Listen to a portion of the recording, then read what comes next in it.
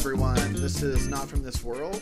It's been a while since I did a tutorial, so I thought I would um, make one here really quick and uh, show you how I organize my DAZ Studio so I can more quickly find things that I need and uh, kind of show you how to make folders within DAZ Studio. Now, one of the things that you want to uh, do is make sure that you are here in your content library. And from your content library, you're going to have these folders that I have up here in the upper left. Now, um, when you buy stuff from DAZ Studio, your products are going to be in the product folder and so see, I just opened it up and you can see they have an alphabetical list of products that you've purchased. So for example, if I go to A here and uh, I look at the subfolders, uh, all of these different props, characters, etc., are ones that I have purchased or uh, downloaded from DAZ Studio. So I can click on them and then they'll pop up like here's this um, kind of dome shaped building. Now, for content that you have manually installed, it's not going to be in this product folder where the DAZ Studio stuff is. It's going to be up here in either your DAZ Studio format folder or your poser format um, folder. So, for example, if I click on the DAZ Studio format folder, I can open up my um, DAZ Studio library, and I've got all of these uh, things that I've manually installed.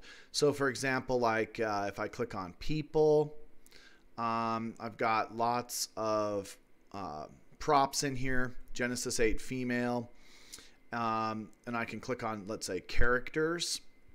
And here are some of the DAZ characters that are actually in the other alphabetical folder, but it's going to have others that uh, I have manually installed. So um, this is another way to find your content. Uh, same thing with the poser folder. So if you go to this poser folder, this is all of these things that I have um, downloaded manually from other sites other than DAZ. And so, uh, for example, there's the skull here. And if I wanted to move this skull somewhere else, I'm going to have to find it and uh, categorize it the way that I'd like. Now, this is nice because it's all in alphabetical order.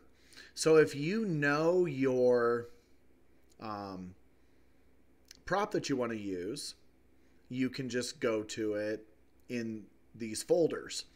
However, being organized alphabetically is not really the easiest way to um, find material, I would say. So what I have done is I have made different categories. And you can go into uh, this category folder and uh, you can create your own category. So for example, I use Genesis 8 female a lot for my characters in my comics. So I created a Genesis 8 female folder and the way that I do that is you go up to categories and you right click on it, and it says you can create a category path. Hit that, and then it'll ask you to name it. So I'm just going to give you an example here. So I'll name this test folder. Then I'll hit OK.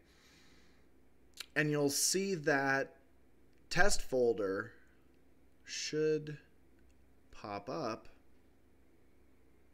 in my categories. Let's refresh it.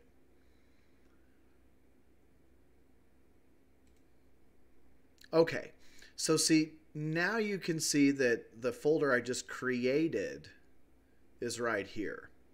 So let me just show that to you again. Right click on categories, go to create category path, and then create your folder. Hit OK. And then you're going to have to go back in here and refresh it. And then you'll see your test folder. Now, if I want to put something in this test folder, let's say I've got a uh, product that I like, um, I'll just pick something randomly. Let's go to test folder E here. All right, so let's say, um, you know, I've got this Egyptian outfit and I want to put that into a different folder so I can organize things. The way that I do that is actually really simple. I right click on the prop that I want to move. I go to create a category from. And uh, once I click on that, it gives me a rundown of all the folders that I have. And I can go down and find this test folder, click on it, hit accept. Now, once I've done that, when I go to my test folder now, open up the subfolder, my Egyptian outfit's right there. And so I have spent time organizing things to get them into the proper, uh, you know, proper order that I like. So, for example, with um, my Genesis 8 female, uh, I used her a lot. So I have created a Genesis 8 female folder, and then I've created subfolders that have things like the characters I have, the clothing for her, um, expressions, hair, poses, etc. So if I want to mess with some characters, I can open up the character folder and then thanks to all of your generous purchases of, of comics, I have uh, you know spent some of my earnings to better my uh, props, and I have quite a few characters for Genesis 8. And so, for example, my very most favorite character is Milika. I just think she's just so beautiful. I kind of have a thing for her, honestly. Um, she is in this character folder from my Genesis 8. I could also create even more subfolders. So, for example, if I want to organize these characters in a certain way, I could do that by uh, right clicking on this character folder, going to uh, uh, create a subcategory and then if I click on that, I can name it and create another subfolder within the character folder. And so uh, this is just a simple explanation of how to organize. Um, let me show you one more trick that is really cool. Um, you can search for something. So let's say I need um, a hammer for my uh, for my set. And, you know, I could look through all of my folders trying to find a hammer. But if I go up here and just type in hammer and then hit enter, it's going to search all of my props and it's going to come up with all the hammers that I have. And it's pretty broad sometimes uh, your search will be too broad and you need to narrow it. Sometimes, more often, it's too narrow and you've got to broaden your search.